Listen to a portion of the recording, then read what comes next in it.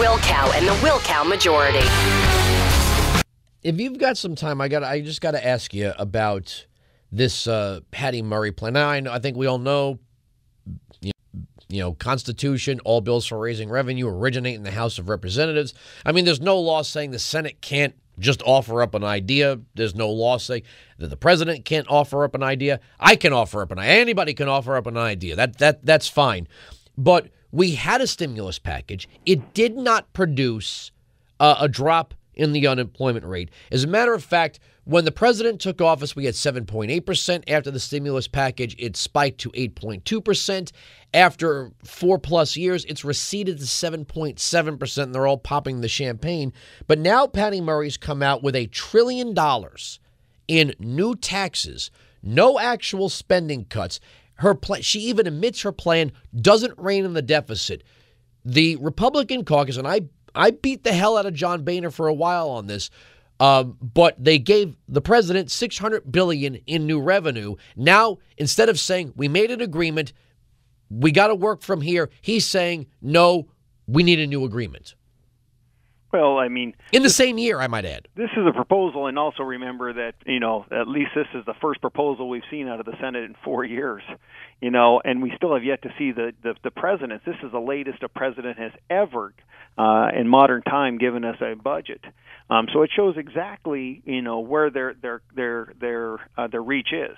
But but Andrew, I, I think one of the things that people now understand is is that fiscal cliff wasn't uh, such a good deal everybody in America thought that only people making 450,000 were going to see their taxes increase.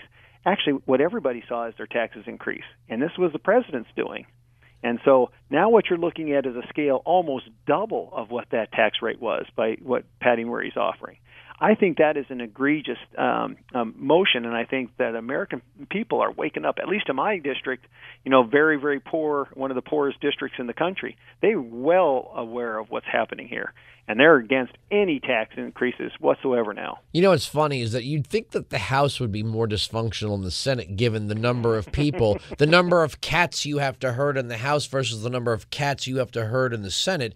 And the House has been very efficient at providing budgets. The Senate not so much. And the Democrats have controlled the Senate since 2009. So I, am just, for the life of me, not understanding this. Well, you know, I think it goes back to a saying that Jack Kemp said leadership is the ability not only to recognize problems, but to summon the wisdom and courage and determination to solve them before they become crises.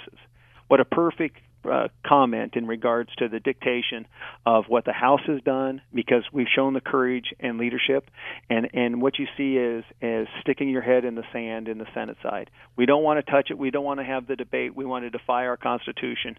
Um, we we don't want to work on behalf of the American people, and I find that offensive. I'll give you another one for those kooky birds in their dorms. Um, it's also proof that the 17th Amendment did not make the Senate a more efficient place. that that you know this idea that well if we have you know 50 states appointing two people to a body, it's just gonna you're gonna have all this crazy regionalism. Well, now they're all elected, and you still have the same thing. Yeah, you, you know, and and it's sad that you you actually see Rand Paul actually trying to create a, a, a fever and, and and put some fire under people in in regards to protocol and and the debate in which the Senate should be debating. And then you have other senators that pick at him, saying, you know, how how how petty that was.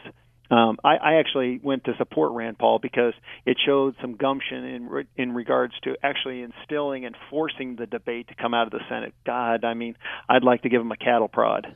Well, I don't want to turn you against your Senate delegation, but I think it would be funny if people started showing up at McCain events in Angry Birds T-shirts. it would just be funny if all of a sudden you have all these angry. What's with the Angry Birds? It's not a Hitchcock film. I mean. it just Absolutely. you know, you you when you call people who have a legitimate constitutional objection to something that the federal government ought not be doing, and you just label them uh, kooky or goony birds. Uh, all right, I, they're telling me we're out of time. You got to go. That's your people telling my people. We'll see you when you're on TV next time. Andrew, it's always a pleasure, and thanks for all that you do. All right, Representative Paul Gosar, thanks for joining us.